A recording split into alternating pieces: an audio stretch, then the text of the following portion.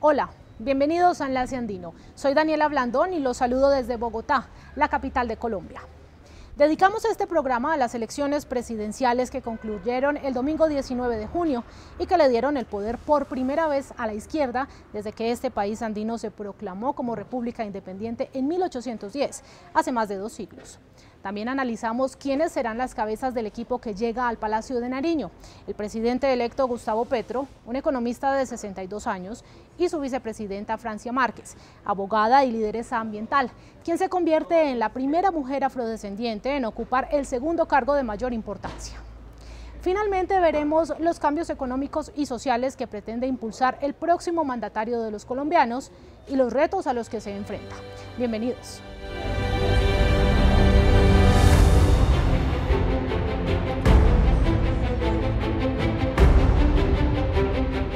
La tercera fue la vencida para Gustavo Petro Urrego, con el 50,4% de los sufragios en segunda vuelta, que equivalen a cerca de 11,3 millones de ciudadanos, se convirtió en el presidente más votado en la historia republicana de la tercera nación más poblada de América Latina. Me llamo Gustavo Petro y soy su presidente. Fue militante de la extinta guerrilla del M-19 hasta que este grupo firmó la paz en 1990 y recibirá las llaves del Palacio de Nariño de manos de Iván Duque, un gobernante de derecha que afrontó durante su jefatura del Estado el estallido social más grande de la historia reciente del país. Veamos qué piensan los ciudadanos sobre el nuevo presidente. Lo primero que espero es que este gobierno le cumpla al país, le dé lo que le ha prometido que parta de las políticas que se dieron, que nos posicione dentro de un mercado económico a nivel mundial. Pues la mayoría de todos confiamos en él, votamos, queríamos el nuevo cambio y pues lo que haya prometido, el progreso, el trabajo, el estudio para los muchachos, eh, que se mejore la economía. Para llegar hasta este punto, Gustavo Petro tuvo que vencer en unos reñidos comicios a su contrincante Rodolfo Hernández. Este magnate de la construcción de 77 años le apostó al populismo para tratar de conquistar la mitad más uno de los votos. Ahora damos un vistazo a quien complementa por ahora el equipo presidencial de Petro. Hablamos de Francia Márquez, quien lo acompañará en la vicepresidencia. Esta abogada de 40 años nació en el departamento del Cauca, zona donde el conflicto armado ha estado presente por décadas. Desde muy niña se ha dedicado a la defensa de sus territorios ancestrales, lo que, entre otras cosas, le valió para ganar en 2018 el premio Goldman, considerado Nobel Medioambiental. Tras haber hecho parte del equipo que fue a La Habana a negociar el acuerdo de paz con la antigua guerrilla de las FARC y luego de apoyar activamente las protestas antigubernamentales contra el gobierno de Duque, Francia Márquez dio el salto a la política y en poco tiempo se convirtió en un verdadero fenómeno popular. A Gustavo Petro no le esperan cuatro años fáciles.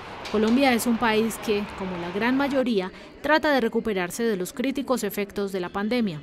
De sus 50 millones de habitantes, casi 20 millones están en situación de pobreza, 6 millones de ellos en pobreza extrema.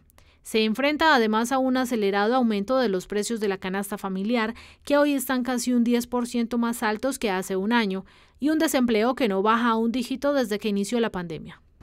Si algo quedó claro en estas elecciones presidenciales en Colombia es que es un país dividido, polarizado y al que le esperan grandes retos en los próximos cuatro años. Por eso estamos con Sandra Borda, analista eh, política, profesora de la Universidad de los Andes. Sandra, gracias por atendernos. Los colombianos salieron a las urnas eh, esperanzados en que va a haber un cambio. ¿Usted cree que va a haber un cambio, sea para bien o para mal, pero habrá un cambio en Colombia? Pues yo creo que sí, la pregunta es de qué dimensión qué tan profundo. Eh, y ese es, ese es el sitio en donde creo que Gustavo Petro tiene la obligación de empezar a contarle a la gente que el cambio rápido, abrupto, radical no va a poder suceder. Eh, no va a poder suceder porque no hay los recursos disponibles para hacerlo, porque se necesita transitar eh, por el ámbito institucional y eso requiere tiempo. Em, pero yo creo que, el compromiso que él tiene con la gente es justamente el de atender las demandas de la protesta social, que son demandas por un Estado que responda mucho más eficientemente a las exigencias de servicios de la gente. Entonces, eh, o, o eso pasa, o empieza a pasar, o simple y sencillamente la izquierda se puede ir despidiendo de su experiencia en el poder por un buen rato. Hay una oposición que ya declaró que va a ser fuerte. ¿Qué puede esperar Gustavo Petro de esa oposición? El único problema es que son minoritarios electoralmente y son minoritarios en el Congreso.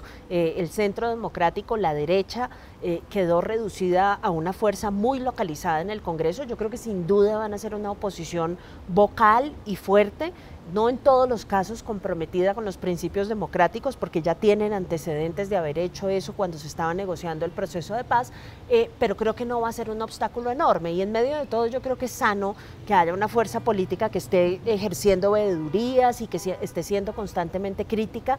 Desde mi punto de vista sería muchísimo mejor si fuese una oposición apegada a los principios democráticos, em, pero, pero yo no creo que vayan a constituir un obstáculo enorme eh, para que logre cosas en el Congreso sí pueden tener un impacto en la opinión pública y sí lo pueden desgastar en materia de legitimidad.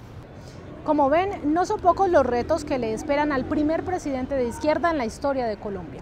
Tendrá desde el 7 de agosto cuatro años para ejecutarlos y para no defraudar a quienes lo llevaron al poder. Hasta aquí este programa Enlace Andino. Recuerde que puede ver este y otros en France24 y France24.com.